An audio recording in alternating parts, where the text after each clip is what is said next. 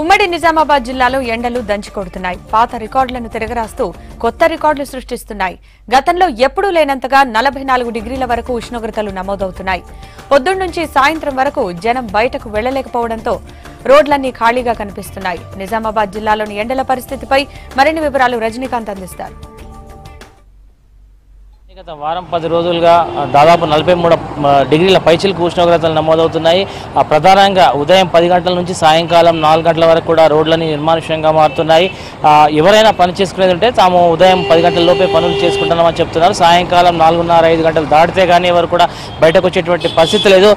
మనం ప్రతిరోజు కూడా మధ్యాహ్నం వేళలో కనుక నిజామాబాద్లోని రోడ్లను పరిశీలిస్తే నిత్యం రద్దీగా ఉండేటువంటి నిజామాబాద్ రోడ్లన్నీ కూడా మధ్యాహ్నం తర్వాత నిర్మానుష్యంగా మారుతున్నాయి. ఒక కర్ఫ్యూ వాతావరణాన్ని మనకు కనిపించేలా చేస్తున్నాయి. ప్రతిరోజు కూడా ఉదయం పది గంటలు దాటిందంటే సూర్యుని వేడికి అంటే ఒక ఎండ తీవ్రత కారణంగా కూడా జనాలు ఎవరు కూడా రోడ్లపైకి వచ్చేటువంటి పరిస్థితి మనకు కనిపించట్లేదు. సాయంకాలం నాలుగు నుంచి ఐదు గంటల ప్రాంతం దాటితే కానీ ఎవరు కూడా రోడ్ల మీదకి వచ్చేటువంటి పరిస్థితి అయితే ప్రస్తుతం కనిపించట్లేదు. మనం ప్రస్తుతం కోట్ చౌరస్తాలో ఉన్నాం. ఇక్కడ చూడొచ్చు నిత్యం రద్దీగా ఉన్నటువంటి ప్రాంతం అంతా కూడా ఈ మధ్యాహ్నం వేళలో పూర్తిగా నిర్మానుష్యంగా మారింది.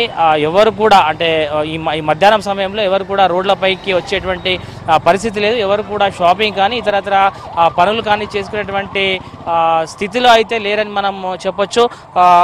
అందరూ కూడా అంటే ఈ మధ్యాహ్నం సమయంలో కావచ్చు లేకపోతే దినమంతా కూడా పళ్ళు పళ్ళ రసాలు సేవిస్తూ గడుపుతున్నారు. ఎండ బారి నుంచి తట్టుకునేందుకు ఇటు చలివేంద్రాల వద్ద అట్లాగే జ్యూస్ సెంటర్ల వద్ద మనకు ఎక్కువగా రద్దీ కనిపిస్తుంది. ఇళ్ళలో ఉన్న వాళ్ళు కనీసం కార్యాలయాలు ఉన్న వాళ్ళు కూడా కూలర్లు కూలర్లు వీటిపైన కూడా ఉన్నారు. సార్ చెప్పండి ఎండలు ఎండల ఎండలు ఎట్లా ఉన్నాయి? ఎండల ప్రభావం ఎట్లా కనిపిస్తుంది? ఎక్కువనే ఉన్నాయి ఎండలు చాలా ఎక్కువగానే ప్రాబ్లం ఉంది. ఎట్లా అనిపిస్తుంది ఎండలకు? అంటే ఇబ్బందికరంగా ఉందా? ఇబ్బందికరంగా అయితే ఖచ్చితంగా ఉందండి ఇబ్బందికరంగా. చాలా ఇబ్బందికరంగా ఉంది. ఇక ఎండ వేడికి తట్టుకోవడానికి మీరు ఏం చేస్తున్నారు? ఇక ఇవే నిమ్మరసాలు తాగడం ఇంకోటి ఏం లేదు. చల్లటి పదార్థాలు తీసుకోవడం అంతే. ఉదయం పది గంటలు దాటితే కూడా రోడ్లన్నీ నిర్మానుష్యంగా మారుతున్నాయి. ఆ రోడ్లపైకి ఎవరు కూడా వచ్చేటువంటి మనకు ఆ, పరిస్థితి అయితే కనిపించట్లేదు. సార్ చెప్పండి ప్రధానంగా ఎండలు ఎండలు ఎట్లా ఉన్నాయి? మీకు చాలా ఇబ్బంది పడుతున్నటువంటి సమస్య అయితే అందరికీ ఉంది. సో ఎట్లా? ఎండలు చాలా ఘోరంగా ఉన్నాయి.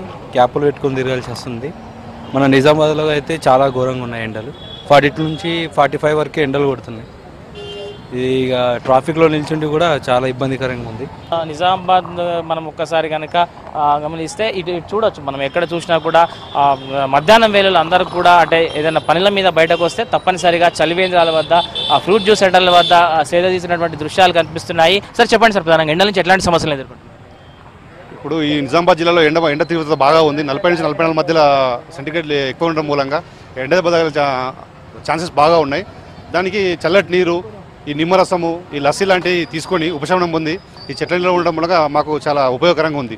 ఇది కోర్టు బయట పెట్టడం మూలంగా కూడా ఈ కక్షిదారులకు కానీ బయట వాళ్ళకి చాలా ఉపయోగకరంగా ఉందని అభిప్రాయం. ఇది ప్రధానంగా మనం చూడొచ్చు. ఉదయం పది గంటలు దాటితే రోడ్లన్నీ కూడా నిర్మాషంగా మారుతున్నాయి. ఎవరు కూడా పది గంటలు దాటితే రోడ్లపైకి వచ్చేటువంటి పరిస్థితి అయితే మనకు కనిపించట్లేదు. సాయంకాలం ఐదు ఆరు గంటల ప్రాంతం వరకు కూడా ఎవరు రోడ్ల మీదకి రానటువంటి పరిస్థితి అయితే మనకు కనిపిస్తుంది. పల్లరసాలు కావచ్చు తర్వాత మంచినీరు ఎక్కువగా తీసుకోవడం కావచ్చు కొబ్బరి బొండాల వాడకం కావచ్చు ఇటు ఆ, నిజామాబాద్ జిల్లాలో అయితే తాటి ముంజల అమ్మకాలు కూడా ఈ యొక్క ఎండ తీవ్రత కారణంగా పెరిగాయి. మొత్తం మీద నిజామాబాద్ జిల్లాలో గడిచినటువంటి వారం పది రోజులుగా అయితే నలభై మూడు డిగ్రీల పైచేది ఉష్ణోగ్రతలు నమోదవుతున్నాయి. మధ్యలో గత ఆదివారం రోజు నలభై ముప్పై డిగ్రీల ఉష్ణోగ్రత కూడా గరిష్టంగా నమోదైనట్టుగా అధికారులు చెప్పడం జరిగింది. మొత్తం మీద మన రానున్నటువంటి వారం రోజుల్లో వడగాలులు కూడా విపరీతంగా విస్తారని అధికారులు చెప్తున్నటువంటి నేపథ్యంలో అందరూ కూడా జాగ్రత్తగా ఉన్నటువంటి విషయాన్ని వైద్యులు కూడా చెప్తున్నారు. మొత్తం మీద నిజామాబాద్ జిల్లాలో అయితే ఎండ తీవ్రత కారణంగా ఈ రోజు ఒక వృద్ధురాలు చనిపోయింది. ప్రధానంగా ఎండ తీవ్రత నుంచి అయితే చాలా సమస్యలు ఎదుర్కొంటున్నారు. చాలామంది ఇప్పటికే వడ వడదెబ్బ బారిన పడి ఆసుపత్రులు ఆయా ఆసుపత్రుల్లో చేరినటువంటి ఘటనలు కూడా ఉన్నాయి. మొత్తం మీద ఉమ్మడి నిజామాబాద్ జిల్లాలో అయితే ఎండ తీవ్రత ఎక్కువగా ఉందని చెప్పొచ్చు. నలభై నాలుగు డిగ్రీలు నలభై మూడు నలభై నాలుగు డిగ్రీల